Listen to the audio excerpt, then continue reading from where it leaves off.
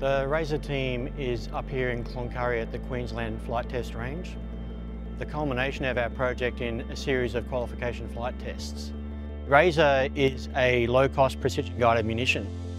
The idea of RAZER was to be able to fly a munition of basically any type up to and including a 155mm artillery shell.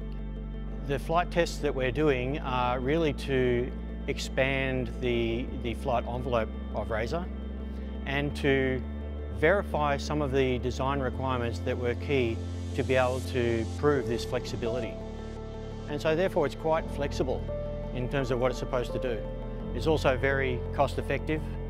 Uh, what it achieves is an affordable mass capability to attack a target in a cost effective manner.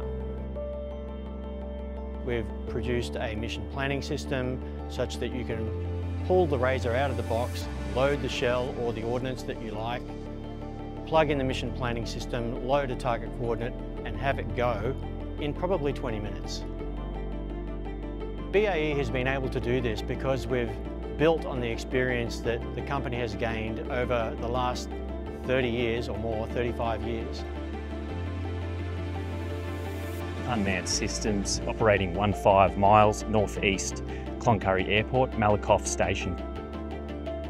Telemetry loud and clear. Starting turn towards inbound. Half a mile to release point at 3,200 at 62 and a half knots.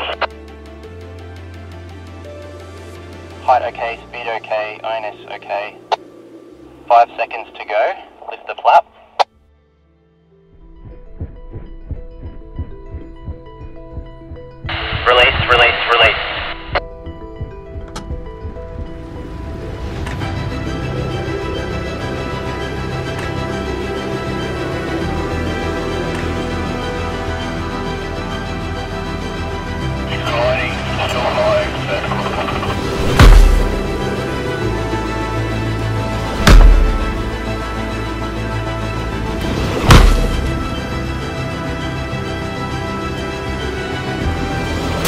PTG, this is target team. Got visual confirmation of a direct hit.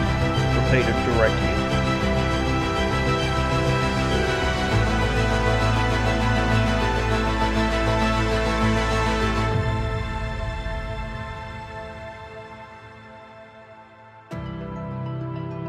Flight tests have been quite successful. We've proven that we can hit a target spot on and we are ecstatic really with the accuracy of this system.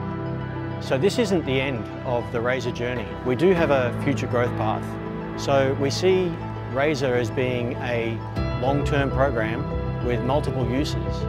Our aim was to make this thing as cheap as we could because we know that customers out there are demanding value for money and affordable mass.